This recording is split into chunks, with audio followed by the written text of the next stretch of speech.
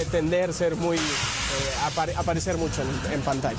Bueno, vamos a conocer a los 11 elementos del conjunto de Tigres. Aparece Cirilo Saucedo, Israel Jiménez con el 23, Juninho con el número 3, Hugo Ayala, el ex rojinegro con el número 4, Jorge Torres Nilo también ex de Atlas, Manuel Viniegra con el 15 aparece como titular.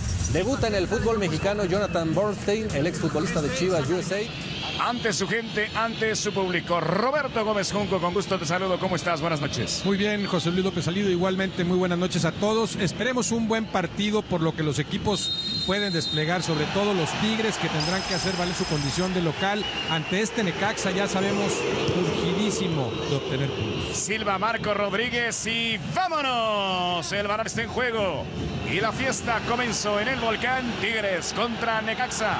Es la jornada 2 del clausura 2011 y el equipo de los Rayos ya toma la pelota con Luis Ernesto Pérez que, venía, que va a encarar de frente y mete este cambio largo de juego. Mancilla, el conejo, se pasa el conejo, pero no alcanzó la pelota el chileno. Llegó el conejo para tapar, sí alcanzó. Héctor Mancilla antes de que saliera, parecía que se le había escapado la pelota. El auxiliar dice que no. Y en ese rebote del conejo, lo vemos el trazo, cómo se dibujaba de Lucas Lobos. Aquí la vemos y yo creo que ya había salido y era Se está equivocando en la salida, la roba Beraldo Barbosa que se va a meter al área. Saca disparo, Cirilo la está rechazando, pero una vez más, Tigres le abre la puerta a Necaxa Roberto para que este tenga posibilidades claras de gol. Ahora fue Torres Nilo el del error. Tigres sí se equivoca, Necaxa no aprovecha. Sí, unos Tigres imprecisos. A Silva en el camino.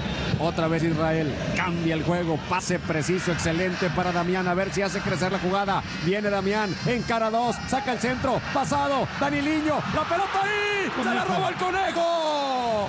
Se la robó el conejo Pérez. ¡Qué jugada hizo Tigres! Y qué atrapadón del Conejo Pérez, Mario. Y sobre todo el primer cambio de juego, Toño, de banda a banda y Damián al segundo poste, les movieron 45 metros a la izquierda, 35 metros a la derecha y se... enfrenta la marca, busca el fondo del campo, saca el centro, el remate y en el fondo está bien Cirilo Saucedo para robarle la jugada a Suárez en la posición para centrar, mete la pelota, segundo poste, balón muy largo, quedó pasado. Allá va Damián a evitar que salga por el fondo. Viene la chilindrina. amaga en el recorte. Saca el centro. Viniegra que le de cabeza. Es mano.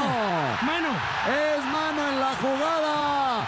Descaradota para quitarle el balón a Viniegra y además darle una cachetada. Se marca el penal y veremos qué más viene en la jugada, Mario. Podría ser expulsión, Toño, porque hoy también veo el puñetazo sobre el rostro del jugador de Tigres y lo está vendiendo además.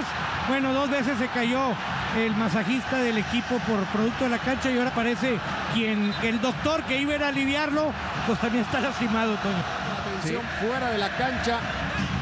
Él también se llevó un contacto. O sea, el amonestado es el que salió lastimado en la jugada. Es que yo no sé si el árbitro lo que aprecia es mano directamente o el contacto de la mano en la cabeza del atacante. Vamos a ver a Mancilla, la gente expectante. Este estadio que tiene sed de triunfo, que quiere ver ganar a su equipo. Aquí está Mancilla, se prepara, venga. Viene Mancilla.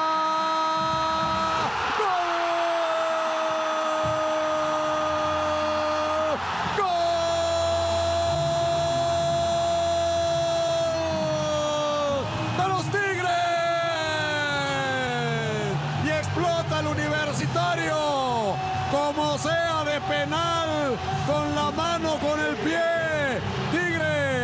Está ganando merecidamente 1 por 0 en Caxa. Roberto Gómez Junco. La, la, serenidad, la solvencia, la tranquilidad de Mancilla para ejecutar así el penal. Puede verse muy sencillo, si esto lo haces en una cascarita no tiene mayor mérito, pero ejecutarlo así ante cuarenta y tantos mil espectadores que están esperando que lo metan no es cualquier cosa. Esto puede hacer que Mancilla adquiera la confianza que siempre necesita un goleador para funcionar. Es muy importante conseguir el primero para romper un poquito los nervios y la presión y aquí lo consiguió Mancilla de penal y le está dando la ventaja a Tigres. Ahora habrá que ver qué viene en el manejo de este partido para los dos equipos. Aquí está la celebración, insistencia de Tigres. Lobos la tiene, la tiene Lobos, la va a firmar. Corte defensivo excelente la barrida de Cuatrochi. Insiste Tigres. ¿Quién está atrás? Toledo. Toledo saca el tiro por encima. Cuatro o cinco jugadores para lo que pueda trascender después de este servicio que se entrega en la cabeza de Toledo. Y viene Damián en la conducción. Se apoya con Lucas Lobos. Se van incorporando dos. Mancilla se abre por la banda. Daniliño es el que va por el centro. Aquí viene el chileno le dejan la pelota. Se encarrera va para Daniliño el rebote. Israel. La jugada fondo fuera se escapó clarito, clarito. El segundo gol lo tenía Daniliño. Lo quiso hacer fino y perdonó Mario Castillejos. Yo no sé si Israel que gana un rebote porque Daniliño cuando le tira la pared se duerme y, lo, y la puntea un jugador de Necaxa. Pero Israel también pudo haber ido a gol, pero dejó en una Así el posición. estadio, el gol de Tigres.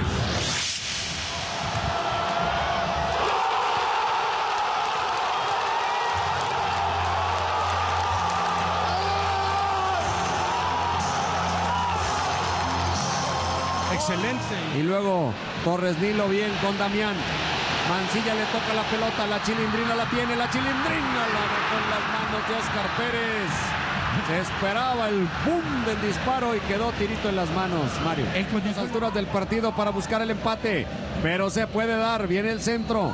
Ahí en el manchón penal, cuidado, el despeje deficiente de Juninho, qué jugada, qué jugada le estaba regalando Juninho a Necaxa y qué manera de desperdiciarla. Lo consiguieron gracias al gol de penal de Mancilla. Juninho lanza, se acabó, dice Marco. Termina el partido, Tigres consigue su primera victoria en este torneo, llega a cuatro puntos. El cuadro de Necaxa tendrá que esperar para mejor ocasión. A nombre de todos aquí, gracias. Nos vamos a Guadalajara.